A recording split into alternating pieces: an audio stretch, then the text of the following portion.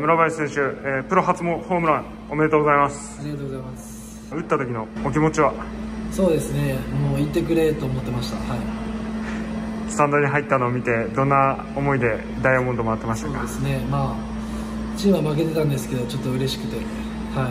ガッツポーズしちゃったんですけどまあ勝ちたかったですね。はい。自主トレで今宮選手と、えー、毎年こう、自主トレを重ねてたと思うんですけども、えーまあ、その今宮選手の前でこう一本出せたっていうのはどんなお気持ちですか？思うこととかありますか？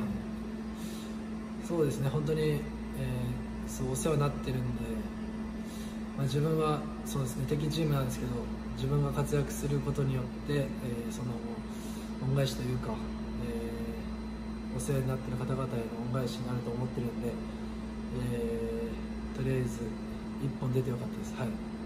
あの今年キャンプから、はい。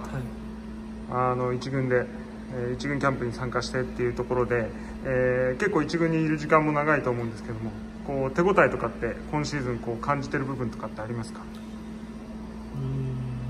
うーん手応えはまだそんなにないというか、まあ、自分はチームの勝利に貢献したいと思って常に、えーね取り組んでるんで、えーチームが勝ったら嬉しいですしその勝利に貢献できたら嬉しいですしそうですね自分が与えられた場面でしっかりと、えー結果にこだわってやってます。はい。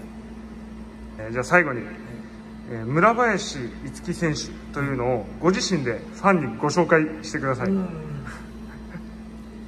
えー、村林樹です、えー、元気に明るくプレーして、えーチームの勝利に大きく貢献できる選手になりたいと思って日々取り組んでます、えー頑張るので、えー、戦いご声援よろしくお願いします。